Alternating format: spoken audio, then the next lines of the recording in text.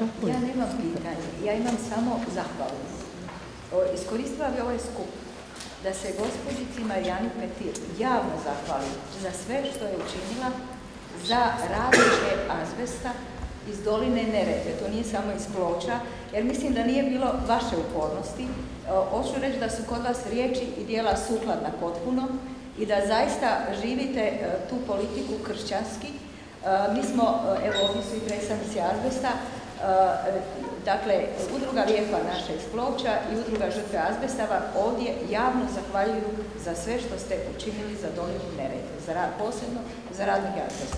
Naravno, za ono što smo istjerali azbest iz ploča i tako dalje, to je bilo primarno ovaj, na saborskim odborima. Ja moram reći, gospođica Petir je negdje tri, četiri, tako, tematske sjednice sazvala, upravo samo radi toga i tjerala je ministricu, tjerala je e, fond zaštite okoliša, tjerala je sve okolo da rade, nije im dala mira dok nismo skoro dovršili posao. Evo, to je samo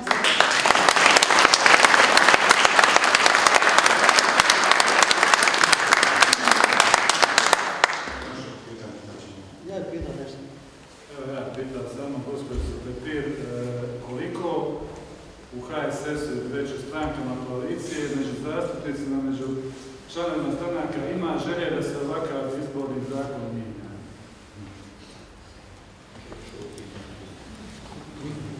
Također jedno pitanje za gospođicu Marijanu.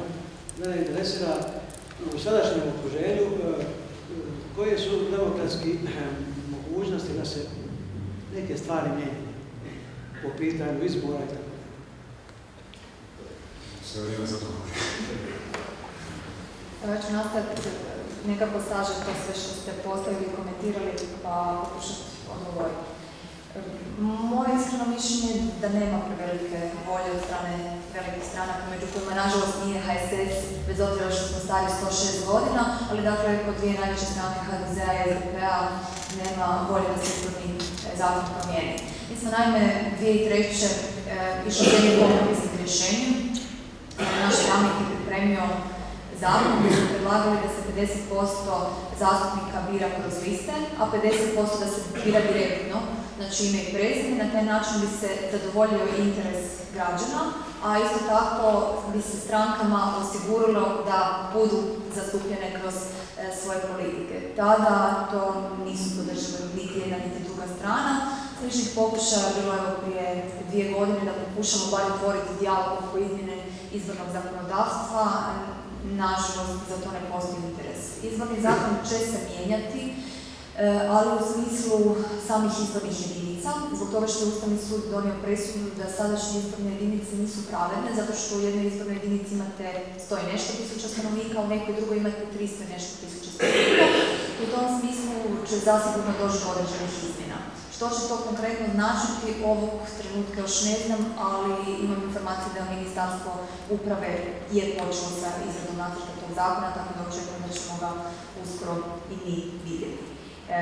Ono što bi bilo zanimljivo jest u stvari kad bi imali mogućnost otvorenih lista, pa kad bi građani mogli na toj listi, bez obzira na kojem mjestu se nalazi pojedino ime i prezime, zaokružiti to konkretno ime i prezime.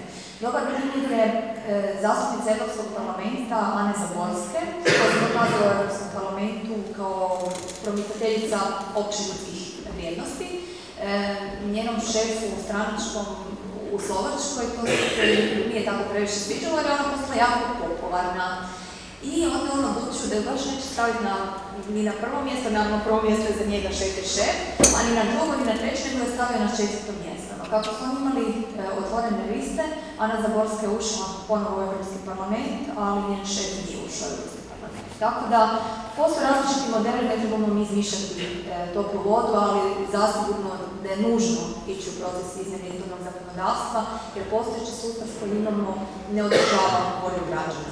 E, Ponekad vas moraju staviti zato što nemaju drugog izbora, ali u većini slučajeva e, stavljanje tih lista ipak ne odgovara potpunosti stvarnom stanju na terenu, izbornim rezultatima, broju članova, o onome što ste doista odradili, napravili, kako ste rezultate e, postigli, tako da dok ne dođe do demokracije unutar stranaka, sigurno neće doći do prave demokracije unutar društva, a vjerujem da tome može malo pomoći drugačiji izgledni zakon. Kad je riječ o stjecanju bogatstva i o porijeklu imovine, pa tu se je uvelo reda u zadnje vrijeme, da bili bi nepravedni kad bi rekli da nije, jer i postoje imovinske kartice, funkcionira povjerenstvo za sukob interesa, e, postoje neki mehanizmi kontrole koji doduše još nisu uvijek dovoljno dobro razrađeni, e, ali čini mi se da je stanje puno bolje nego što je bilo prije, a na tragu toga su i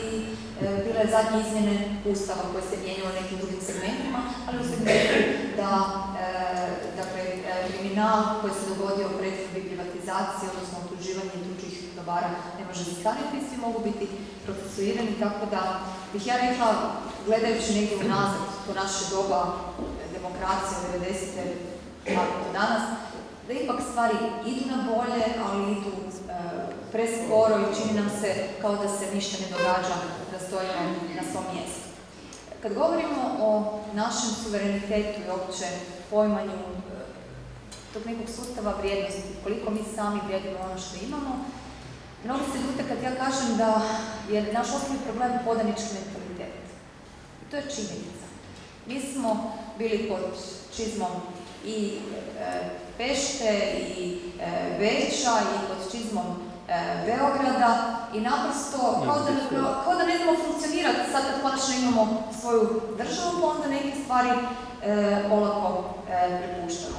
U vrijeme e, Račanove vlade je bila jedina zastupnica vladajuće koalicije koja nije podržala sporazum sa Slovencima oko nuklearke Krško, ne zato što sam ja protiv sporazuma, nego zato što je taj sporazum bio e, loš za Hrvatsku.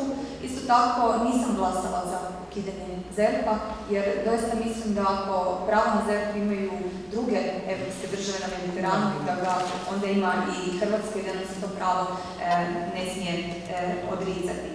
Činjenica je da zasigurno ulazak u Europsku uniju donosi Hrvatskoj i mnoge prednosti, treba biti iskren i treba govoriti e, o tome, ali isto je činjenica da se nedovoljno o tome razgovara, da ljudi nemaju dovoljno informacija i da kroz možda neke pojedinačne slučajeve koji su bili i nespretni i nesretni e, zaključuju da se hrvatski suverenitet ne štiti e, dovoljno i da se ne štite dovoljno sve naše vrijednosti.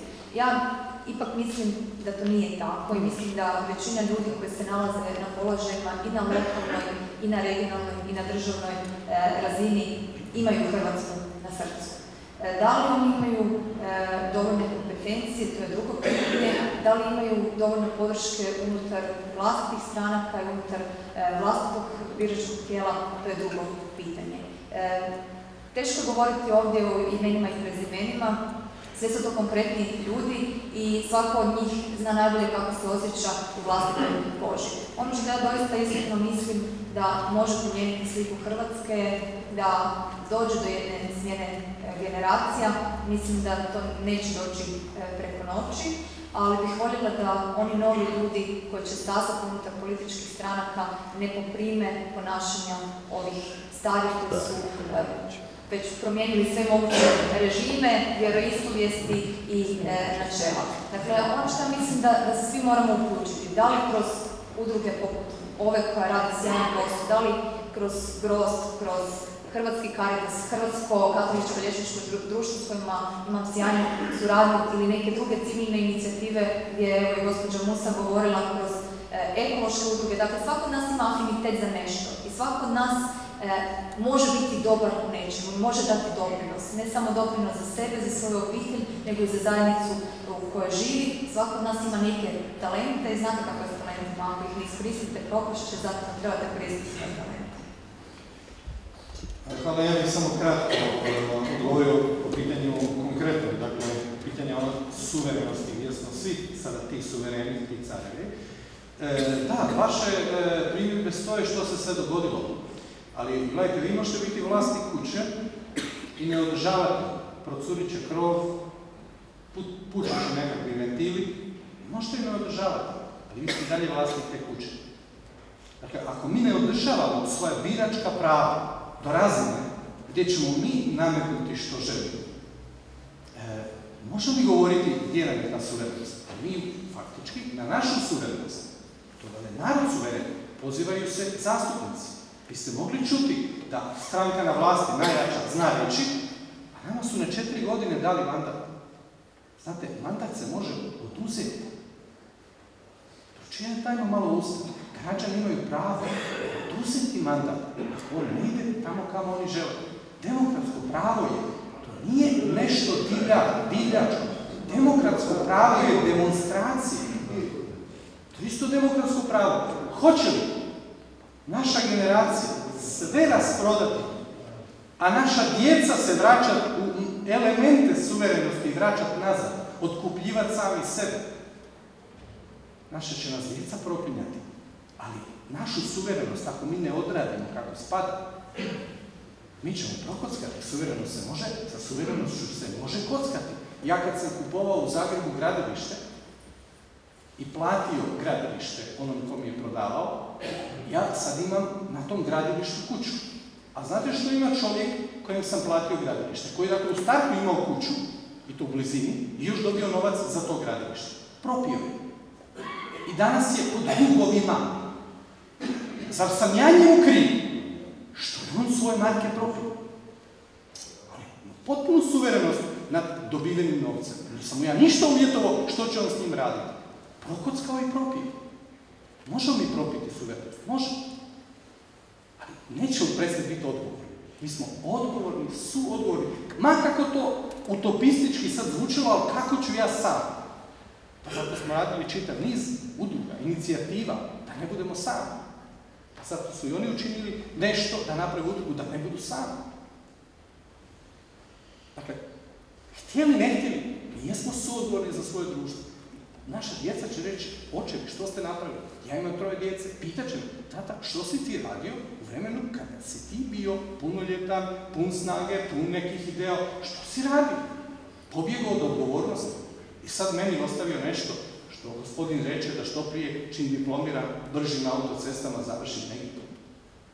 Suverenost i odgovornost. Ma kako je mi loše odrađeno? 96% je banaka i dato stranci.